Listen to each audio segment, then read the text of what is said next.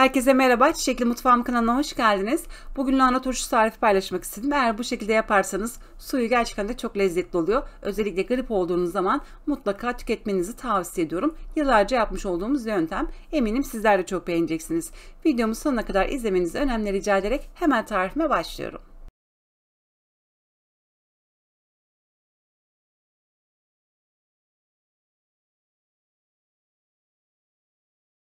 Semt pazarından bir tane turşuluğa uygun lahana aldım ve ilk 3-4 yaprağını attım onları kullanmıyorum. Bu şekilde dilimlere ayırıyorum. Ben bu turşuyu 5 litrelik cam kavanoza kuracağım.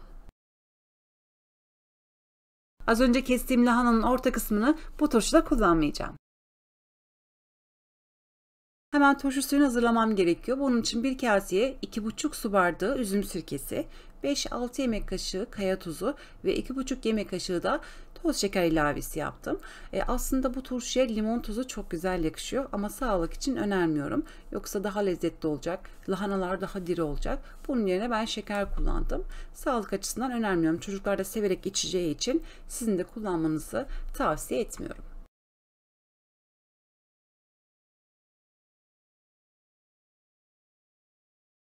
Bu turşuya havuç çok güzel yakışıyor. Aynı zamanda şalgam da çok güzel yakışıyor. Çok güzel rengini verecek. 3-4 tane kullanmanız yeterli olacaktır. Ben şimdi ikisinin böyle kabuklarını soyuyorum.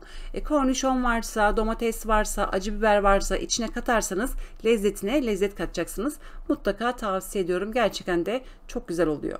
Biberlerin çekirdeklerini çıkarttım. Bir tane de limon doğradım. Ne kadar ince doğrarsanız o kadar iyi olacaktır. Ham domates de çok güzel yakışıyor. Özellikle tavsiye ederim. E, artık elinizde ne varsa bu turşunun içerisine ilave edebilirsiniz. Buraya kadar gelen sevgili izleyicilerimden ben yine her zaman olduğu gibi bir emoji rica ediyorum. Bu bir çiçek olabilir, bir böcek olabilir ya da herhangi bir mesaj olabilir. Hiç fark etmez. Konuyla ilgili bilginiz veya bir tecrübeniz varsa bizlerle paylaşırsanız çok mutlu olurum. Şimdiden herkese teker teker teşekkür ediyorum.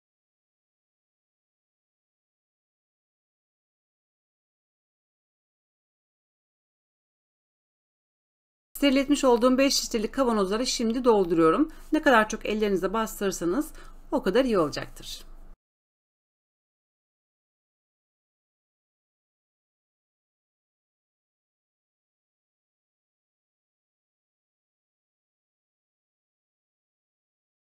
Ortalama 2 baş sarımsak kullandım. Sarımsak ne kadar çok kullanırsanız o kadar lezzetli olacaktır.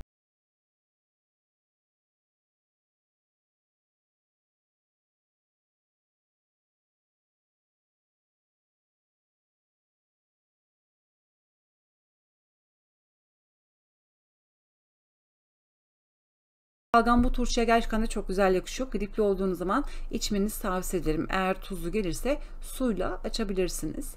Gerçekten de çok beğeneceksiniz. E, bu arada e, kullanmış olduğum domates, e, salatalıklar da yine e, bu şalgamın rengini alacak. Renkleri değişecek ama çok lezzetli olacak. Eminim sizler de çok beğeneceksiniz.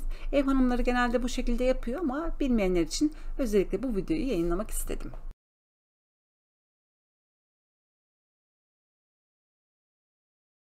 Tuzların erimesi için biraz karıştırdım. E, Tabi tuzlar ne kadar çok erirse o kadar iyi olacaktır.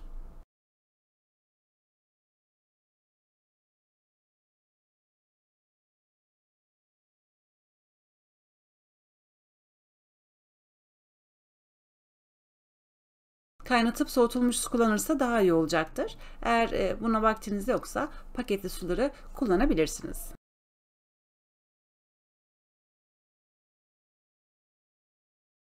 Suyunu ilave ettikten sonra parmaklarımla yine biraz bastırdım ve üstüne bir miktar lahana ilave ettim. Şimdi kapağın ağzını sıkıca kapatıyorum.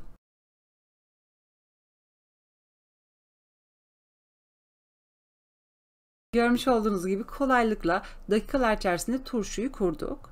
Çok da güzel oldu. Ee, şimdi ben bu kavanozu karanlık ve serin bir yerde saklayacağım. Yaklaşık 15-20 gün sonra afiyetle tüketebilirsiniz. Ben biraz daha bekletip birkaç günkü halinde sizlere göstermek istiyorum.